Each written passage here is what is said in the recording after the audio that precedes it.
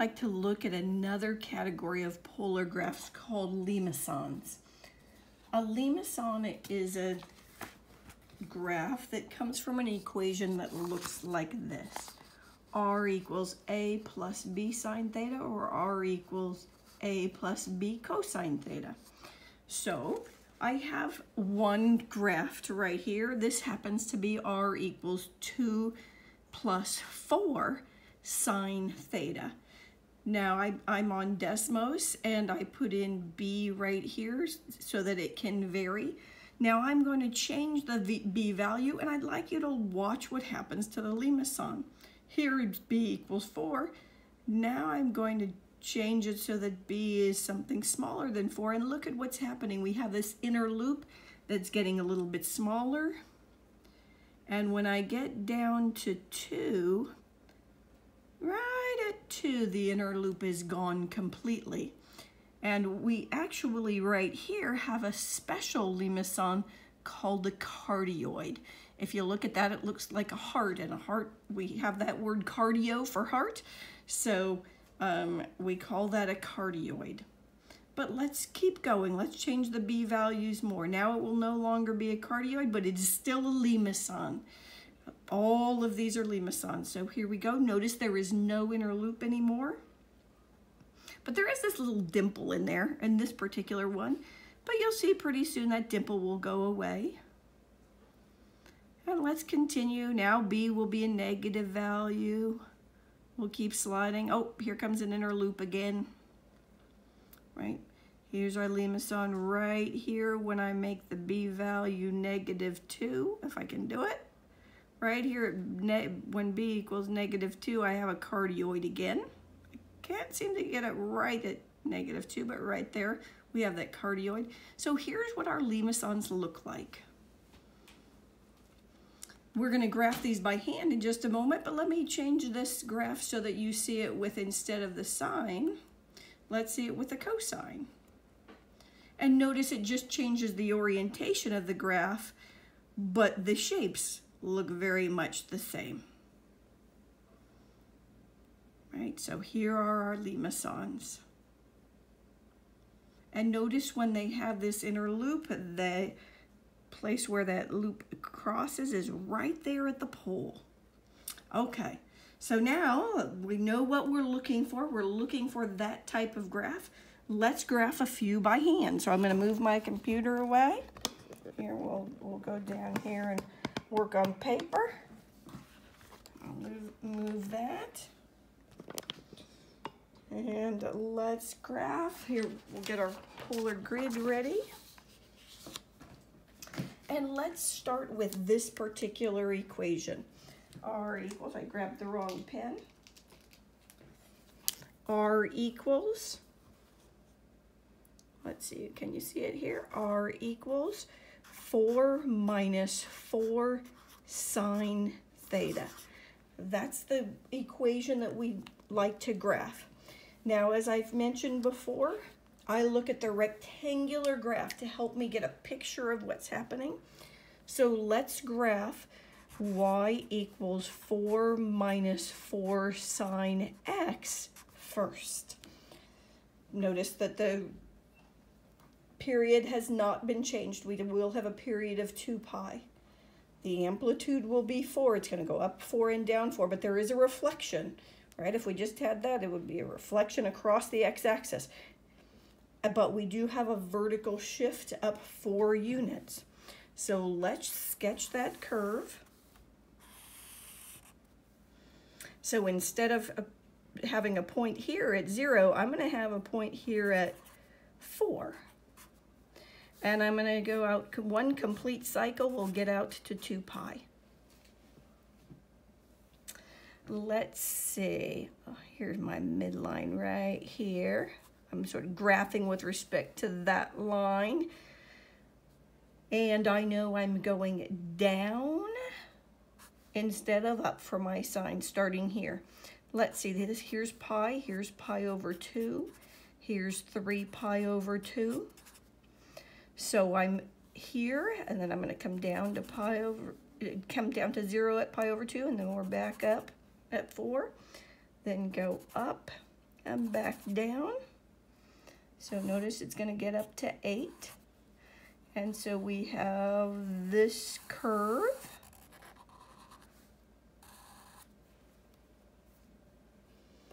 So let's see how that translates to polar. Remember, this is our x and y in our rectangular coordinate system, but we're using it for reference now. And this will be our theta. These are our theta values, and these are our r values. And we can pick our some key points right here. Notice when the angle is zero, we will be four units away. So let's start here, zero, we're four units away. One, two, three, four, right here. And at pi over two, we're at the pole right here at zero. Notice it does not cross through the pole because it doesn't go negative. It's not going to cross through it and continue. It will just touch the pole and then move away. Let's see, at pi, we're at positive 4. So when I'm turning here looking at pi, I'm at positive 4 right here. At 3 pi over 2, I'm at 8. So 3 pi over 2, I'm here. 1, 2, 3, 4, five, six, seven, eight. I'm right here. So these are the points that I have to come up, to use to help us come up with the graph.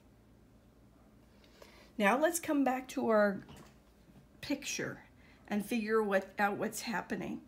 Between 0 and pi over 2, the r values are positive, so between 0 and pi over 2, the values will get exist in here and they're getting smaller and smaller and smaller until it gets to zero. So I know I'm out here, but it's gonna come around and get closer and closer and closer to zero. Now, if you feel like plotting a point so your graph will be a little bit more precise, find a value that seems nice to substitute into this. Something we're familiar with, like how about a, uh, pi over 6. Pi over 6 would give us a nice value. If we put pi over 6 in here, we have sine of pi over 6, that's a half. A half times 4 is 2. 4 minus 2 is 2. So at pi over 6, I would be 2 units out. So I have another point here that helps me get a more accurate picture. So I'm going to curve around this direction and then I get to zero.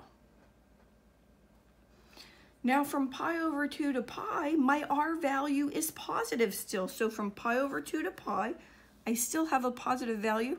And we know we have some symmetry here at pi over 6. It was a, the r value was a half. At 5 pi over 6, we know the sine of 5 pi over 6 is the same as the sine of pi over 6. We would have the exact same value. So here I would also have a value of 2. And I can draw that same type of picture coming this direction. Let's see what happens from pi to 3 pi over 2. Notice our R values are getting bigger and bigger and bigger. Our R values are always positive for this picture. There aren't any values down here. So between pi and 3 pi over 2, from here to here, r is getting bigger and bigger and bigger until it hits 8. Did I get to 8 there? 2, 4, 6, 8. Okay. So if you feel more comfortable plotting a point so you can see really where it goes, let's, let's put in 7 pi over 6. That's another one we should be pretty familiar with. The sine of 7 pi over 6 is negative 1 half times negative 4 is 2. 2 plus 4 is 6. So right here at 2, 4, 6, it's going to be way out here. So it gives me a little bit of a, an idea of how wide I should make this. Remember, our R values are getting bigger and bigger and bigger until they get to 8. So I have it. Ooh, I, I missed it a little bit right there. Let me see if I can do a little, do a little better right here until it gets up to 8. Would want to erase that. If I would, weren't using a marker, I'd erase that right there. But then notice from 3 pi over 2 to 2 pi, the R values are getting smaller again. I know that at 11 pi over 6, I'm going to have that same 6 value that I had. So that's 2, 4, 6. Let's put that point in. And we'll draw this curve, getting rid of this. So here's our limacon. This happens to be the special limacon called the cardioid. And we, we have a cardioid, it turns out, when these two numbers are the same. Doesn't matter if they're opposites in sign. If 4 and we have a 4 here and a 4 here, we end up with a cardioid. But come up with the rectangular graph first, use it as a reference so you can come up with your polar graph. Let's do another one.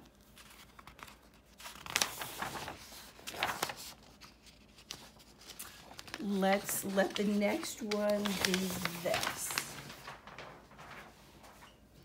It will be R equals 2 plus 4 sine theta. So again, we're going to graph y equals 2 plus 4 sine x first. Notice we have our sine curve, amplitude is 4, but now it has only shifted up 2 units. So let's see what our sketch gives us. Here's 0. Notice there is no period change, so the period will be 2 pi. Let's cut that into nice 4 equal intervals. So let's see, we've shifted up 2 units but the amplitude is four. So here's our little midline right here, but it's gonna go up four units from there. So I'm gonna start here and go up four units, that's four, there's six. It's gonna go up to six and come back down. And then it will go down four units from here. That'll put it at negative two and back up. So here's our graph of our sine curve that is y equals 2 plus 4 sine x. So again, we know this is x and this is y, but for purposes of converting to pol a polar graph, we're going to think about these being our theta values and these are our values.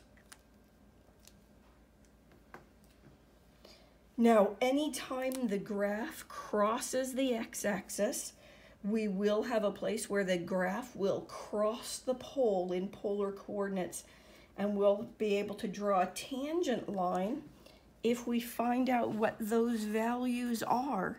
So the x-intercepts are pretty important. So let's find them for this particular equation. We can set r equal to 0 and solve this equation. 2 plus 4 sine theta. Subtract 2 and divide by 4. So you'll get negative 1 half equals sine of theta. You know the reference angle for this is pi over 6. But we know those are second and, or excuse me, third and fourth quadrant angles where the sine is negative. So you know theta is going to be 7 pi over 6 and 11 pi over 6. So those are key points for this graph. 11 pi over, oh sorry, that's our 7. 7 pi over 6 and 11 pi over 6. So let's bring our polar grid in to the picture and see what we can figure out. Let's put in the places where the graph will cross the pole in first at 7 pi over 6. So here's 7 pi over 6. Let me put it in with a dashed line and I just continue the line on. And at 11 pi over 6, so here's 11 pi over 6. So those will be relevant at some point in this graph. So now let's put in some other important points. When theta is 0, r is 2. Let's put that in. 0, 2. Let's see, how big will this go? We're going to get out to 6. How about if we make the increments by um, uh, one, two, three, four, five, six. Yeah, let's do that so that we will um, have our graph be a little bit bigger. So I'm going to make this be one, this two, this three. So those little darker lines will be one increment. So all of the smaller lines will be a half. That's a half one, one and a half, two, and so on for this particular graph. So at zero radians, we're two units out, one, two.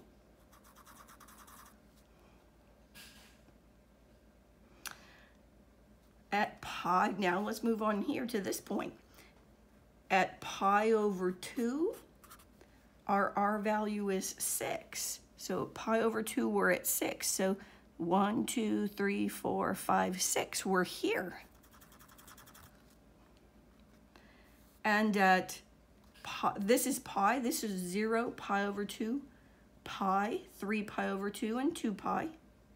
So we're at pi here, and at pi, our R value is 2. So 1, 2.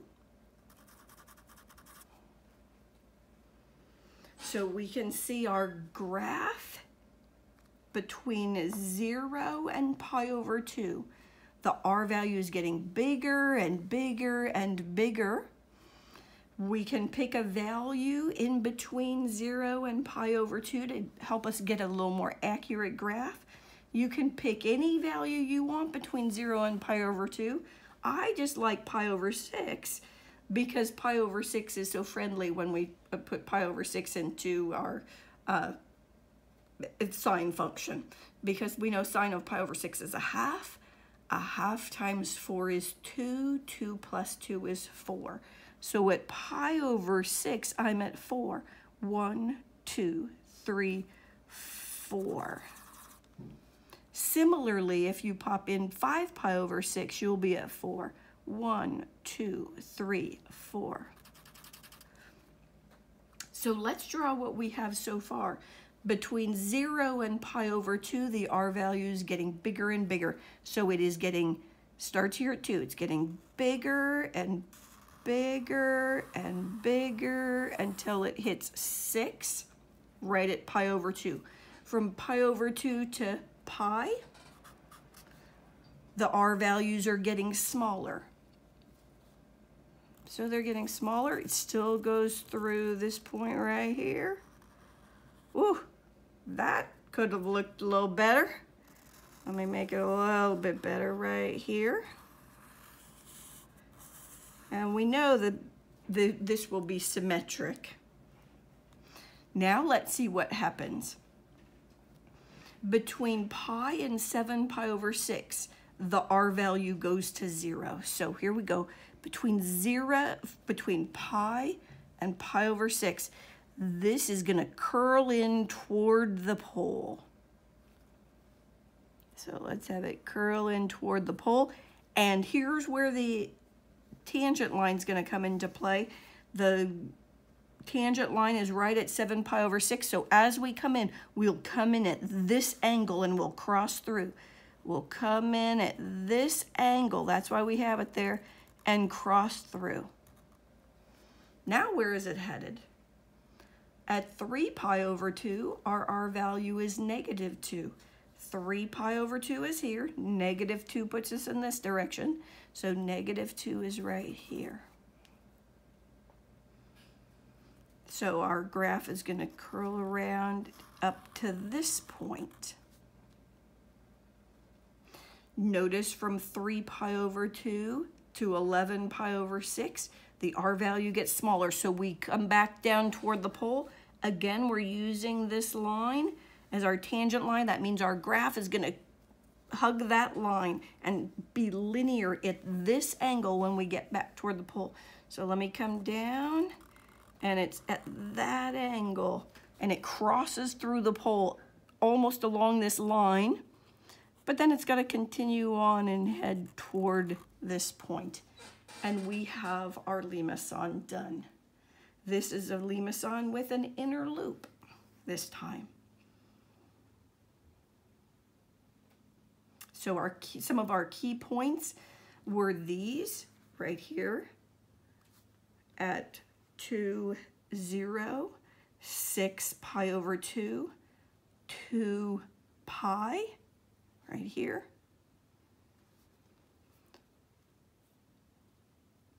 Negative 2, 3 pi over 2, which was here, and 2, 2 pi. And finding these two values, which gave us a sense of how steep or shallow the graph is when it was coming in toward the pole. Let's do one more.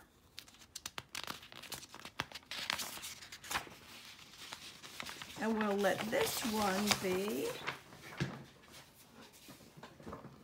R equals 3 plus 2 cosine theta. Again, it still fits that same format, so we know it's a limacon. We have a sense of what it looks like, sort of, but we're going to graph y equals 3 plus 2 cosine x to give us a reference. So I'm going to start at 0 and finish at 2 pi. Notice the period has not changed, so we have a period of 2 pi. I'm going to cut that into quarters. We know the amplitude is 2, but it's been shifted up 3 units, so I'm going to come up here to 3. And here's our midline right here for the graph because it's been shifted up 3. But we know the cosine graph will start up here. And then it will come down and come down here to 1. And it will come back up and finish one cycle back at 5. This graph exists between 1 and 5. Notice again, amplitude is 2, so the graph is going up and down with an amplitude of 2, but it's been shifted up 3 units. So our one cycle of this particular graph looks like this.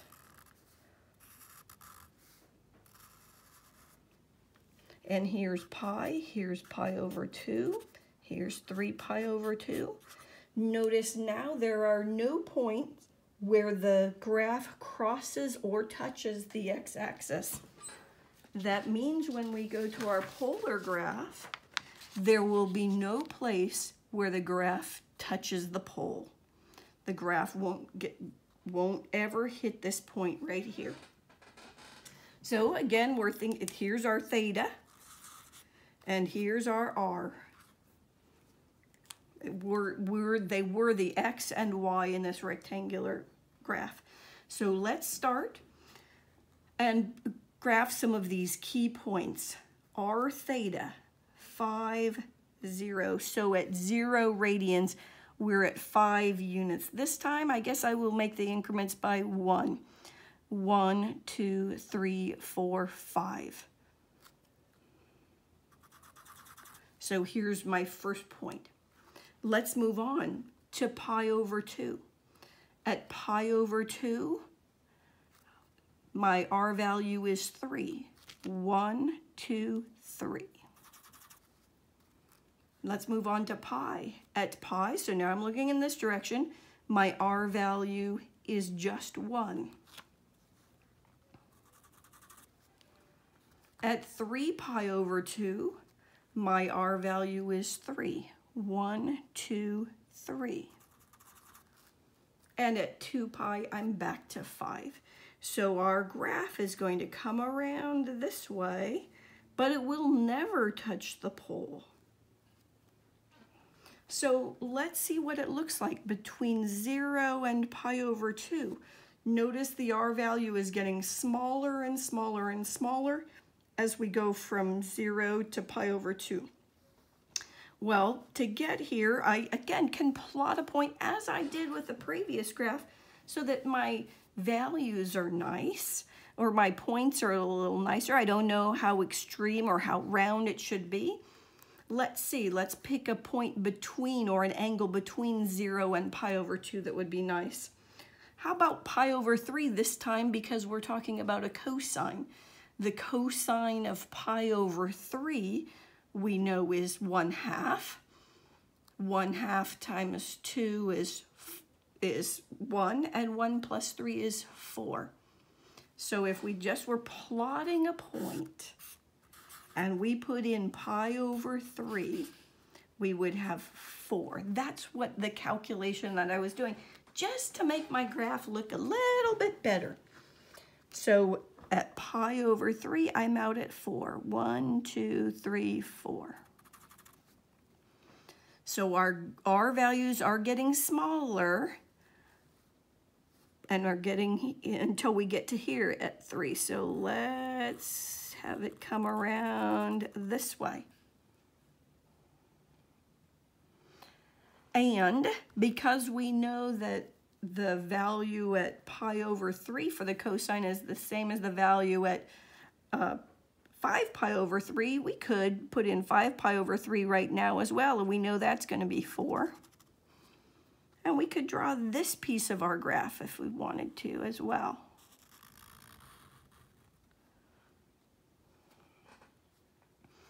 Now let's look what's happening between pi over 2 and pi. So from pi over 2 to pi. So we're talking about the rotation in here. The R value is getting smaller and smaller and smaller.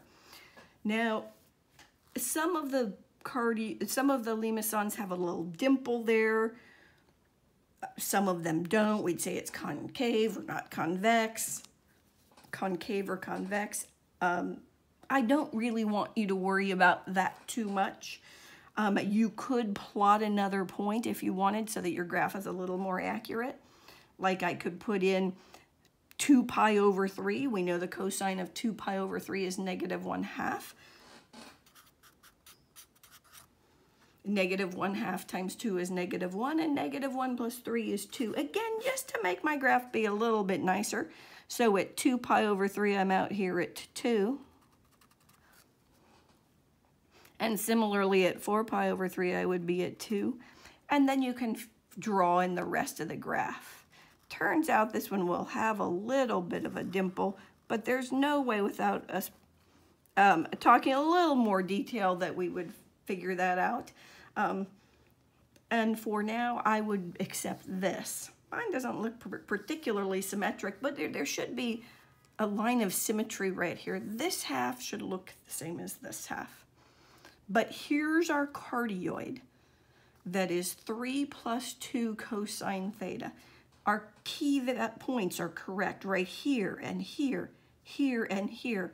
We did not have the graph crossing or touching the pole because our graph never crossed or touched the x-axis. So our R value never got to zero, so we stayed away from the pole. I hope this is enough for you to start practicing graphing some limacons.